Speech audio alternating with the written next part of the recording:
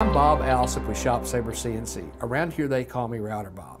I want to introduce you to the Shop Sabre F4 vacuum system. You know, as long as I've been involved in CNC, we've always had a problem with a lack of three-phase power out in certain areas. You know, sometimes it wasn't available at all, or sometimes it was really cost prohibitive to, to actually bring it in. And so we had a bunch of band-aid approaches. One of them is a phase converter. You know, a VFD is also another way to do that. But those are just, those are band-aids. Uh, they're very inefficient. Your cost of operating the machine goes way up. So that's not really a good solution.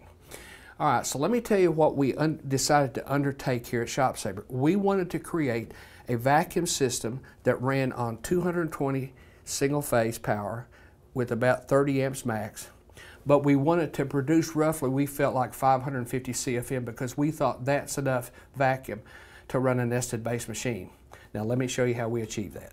When the testing results came back from engineering, we were really excited. The unit produced 570 CFM, which exceeded our target. But let me tell you what it took to make that happen. First off, we selected American-made tangential bypass motors because we thought those were the most efficient that we could use. Now, there's a part of vacuum generation that has to do with heat, and heat's really the limiting factor. So we thought, well, you know, if we could control that, if we could dissipate the heat that's generated in the system, we could probably boost them up and get more power out of them. So that's how this really worked. And we, we did that by actually injecting cooling internally as well as actually externally. So basically we control the temperature on both sides of the pump itself and, and that's why we were able to boost the power on these. So it made a, a, a really, really good system. Now, let's look at the next step. Let's talk about how this connects to the machine itself. Okay, now the Shop Sabre F4 vacuum system actually has four vacuum inlets. And you can see from this large manifold where we connected. Now here's why we did that. Each of those pump units is its own units and they're actually sealed so that they're independent of each other. Now here's why we did that. It actually enables you to use all of the pumps at the same time or any combination. Now, if you have an application that maybe just requires one pump, that's all you have to run. There's no backflow between those chambers, so they don't interfere with each other. If you leave one turned off, it doesn't matter.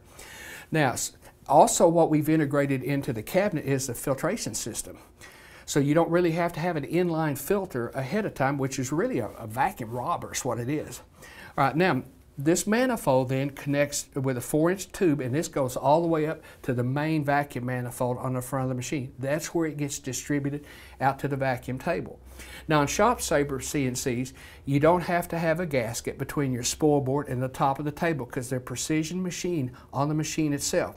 Now let's talk a little bit about spoil board preparation because that seems to be an area people really don't understand. First off, we start with a piece of standard 3 quarter inch thick MDF and we machine the surface on top and bottom. That leaves the porous material that's on the inner part of it. Okay, that goes on the machine table. Our material goes on top. When we cut parts out of the sheet, we only cut slightly into that so that we don't create a lot of vacuum leakage. And that's how flow through works. Now let's go out to the machine and let's actually watch some parts being cut.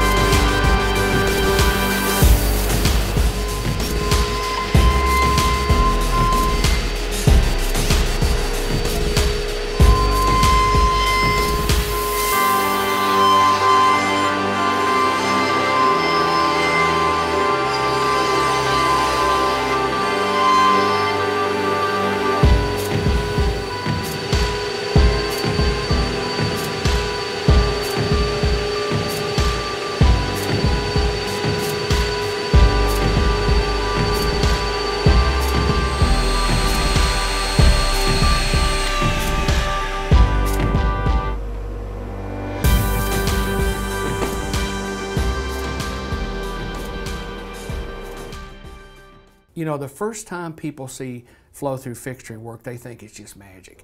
So we actually wanted to show you that process, but we also wanted to test the F4.